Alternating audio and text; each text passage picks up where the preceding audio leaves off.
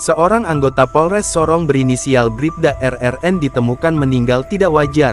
Senin, tanggal 15 Juli tahun 2024. Kapolres Sorong AKBP Edwin Parsaroan mengatakan, Bribda RRN ditemukan gantung diri di rumah dinas atasannya yang menjabat Wakapolres Sorong di Kompleks Perumahan Pemda, kilometer 24, Kabupaten Sorong, Papua Barat Daya.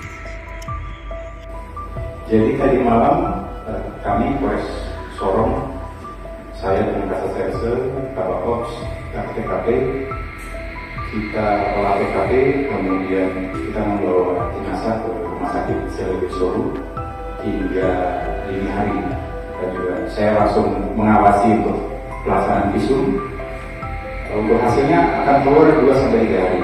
Namun sekilas saya sendiri melihat dan menyaksikan juga mengamati secara detail tidak ada tanda-tanda kekerasan tubuh korban.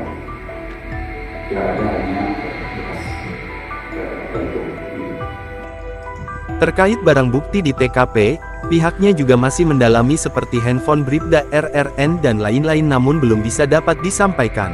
Dia bilang, Pihaknya juga akan memanggil saksi-saksi atau orang yang terakhir berkomunikasi bersama Bribda RRN sebelum kejadian gantung diri. Kami masih tunggu kehadiran saksi dan bisa menjadi indikasi motif dari Bribda RRN melakukan tindakan itu. Ucapnya, dia menambahkan, Bribda RRN akan disemayamkan pada Rabu tanggal 17 Juli tahun 2024. Karena masih menunggu persetujuan keluarga terkait upacara pemakaman, Pungakas AKBP Edwin Parsaroan.